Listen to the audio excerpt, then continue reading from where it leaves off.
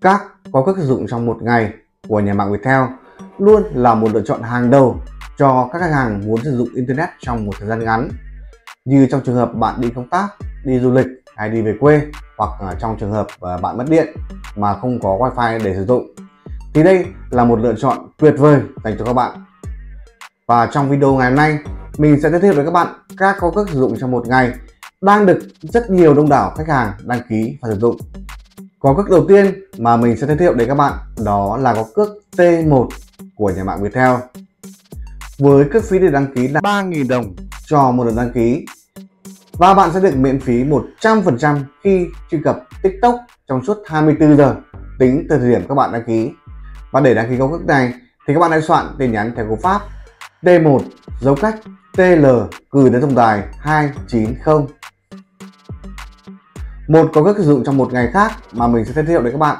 Đó là có cước MI5S của nhà mạng Viettel.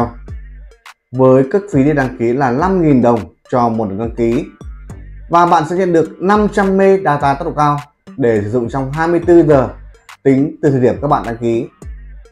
Và để sử dụng cước này cho mình, thì các bạn hãy soạn tin nhắn theo cú pháp MI5S dấu cách TL gửi đến tổng đài 290 Tiếp theo, mình sẽ giới thiệu đến các bạn một gói cước sử dụng trong một ngày vô cùng ưu đãi của nhà mạng Viettel.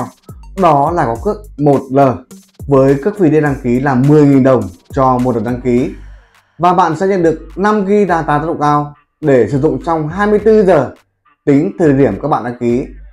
Đặc biệt hơn nữa, bạn còn được miễn phí 10 phút đầu tiên của tất cả các cuộc gọi nội mạng và bạn còn được tặng thêm 5 phút để gọi mạng nữa. Để đăng ký có cước thì các bạn hãy soạn tin nhắn theo cú pháp 1N dấu cách TL gửi đến tổng đài 290. Ngoài ba có cước sử dụng trong một ngày mà mình vừa giới thiệu đến các bạn, tiếp theo trong video mình sẽ giới thiệu đến các bạn hai có cước sử dụng trong 30 ngày của nhà mạng Viettel. Đó là có cước SD90 và có cước MXH120. Trước tiên, mình sẽ giới thiệu và cách đăng ký có cước SD90 với cước phí đăng ký là 90.000 đồng cho một đợt đăng ký. Và bạn sẽ nhận được 45GB data tốc độ cao để sử dụng trong 30 ngày. Mỗi ngày bạn sẽ nhận được 1,5GB để sử dụng. Và để đăng ký có cước thì các bạn hãy soạn tin nhắn theo cú pháp SD90 dấu cách TL gửi đến tổng đài 290 còn bây giờ mình sẽ giới thiệu và cách đăng ký có cước MXH120 với cước phí để đăng ký là 120.000 đồng cho một lần đăng ký. Và bạn sẽ nhận được 30GB data tốc độ cao để sử dụng trong 30 ngày.